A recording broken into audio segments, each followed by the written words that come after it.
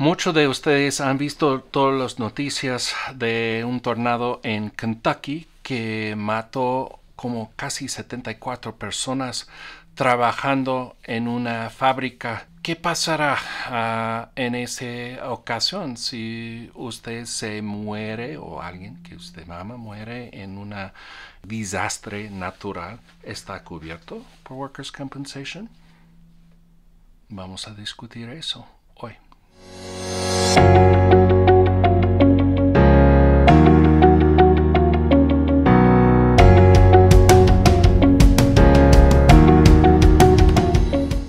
Hola y muy buen día. Mi nombre es Britton Morel. Yo soy un abogado con el bufete jurídico, el despacho legal Kaplan Morel. Y desde 1997 hemos ayudado gente y sus familias uh, en Colorado con lesiones derivadas por el trabajo a obtener los beneficios que ellos merecen bajo la ley. Si usted encontró este video y les gusta, le ayuda, por favor, ponga el like, el subscribe y ponga un comentario y queremos que usted es parte de nuestra comunidad en línea, por favor. Hoy vamos a discutir uno de los temas basado en lo que pasó en Kentucky esta semana cuando vino un tornado gigante y pasó por una fábrica de velas, el Mayfield Consumer Products Compañía, y murieron casi, bueno, desde, desde la más reciente noticia, 74 trabajadores. Y si esos daños, si esos muertes están cubiertos por el sistema de Workers' Compensation. Y mi respuesta es quizás. Vamos a discutir por qué. Cuando usted está lastimado en el trabajo, usted tiene que mostrar que su lastimadura, su lesión ocurrió en el curso del trabajo. Una de las cosas que usted tiene que mostrar por parte de eso es que su trabajo causó en una manera su lastimadura. Ok, entonces, ¿qué pasará si hay un desastre natural y está afectado todas las personas en un área? Las personas en la casa, las personas durmiendo en sus cámaras, las personas trabajando, está cubierto y usualmente la respuesta va a ser no. No, ¿por qué? Porque vino un desastre, una inundación, una tornado, una uh, huracán, algo, ¿ok?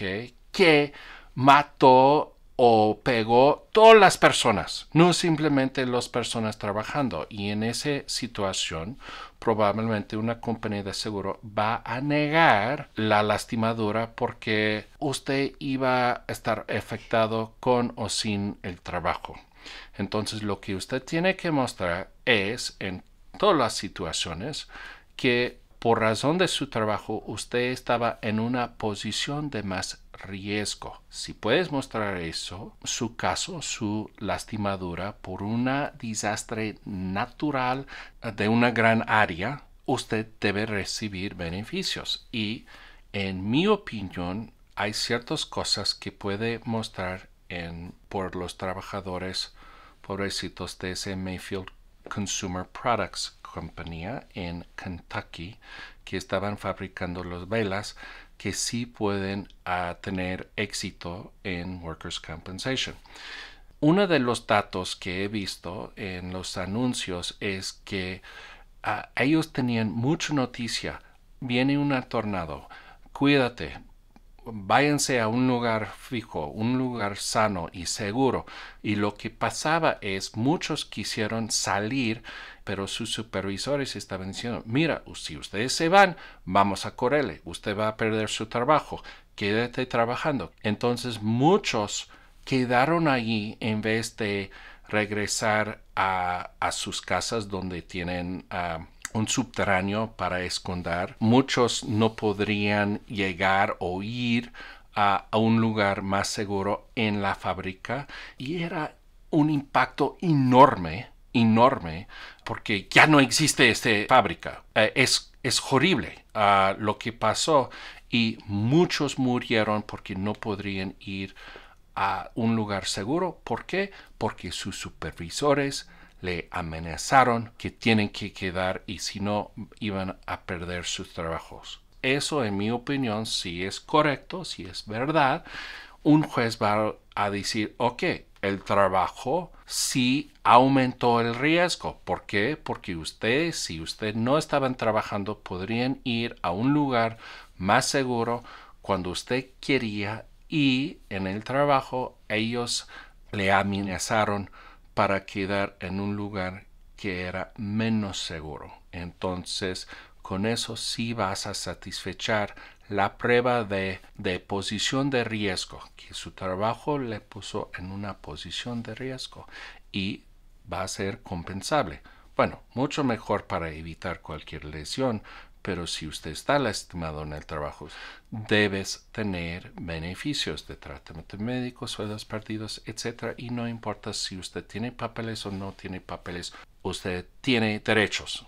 Si usted o alguien que usted conoce o ama está sufriendo por una lesión derivada por el trabajo en Colorado, recuerdas que hay un bufete jurídico y un abogado que habla su idioma y nosotros podemos atenderle. La consulta inicial es gratis y confidencial y es en su idioma con un abogado que habla su idioma y recuerdas, con o sin papeles tienes derechos y también quiero que recordarle que solo cobramos un honorario contingente. O sea, si nosotros podemos ayudarle, solo cobramos un porcentaje de lo que podemos obtenerle si tenemos éxito. Si no tenemos éxito, no me pagas.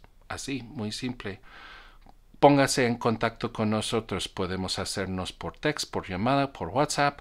Puedes ir a nuestro sitio de internet y con todo gusto podemos atenderle. Y con eso, gracias por pasar parte de su día con nosotros. Bye.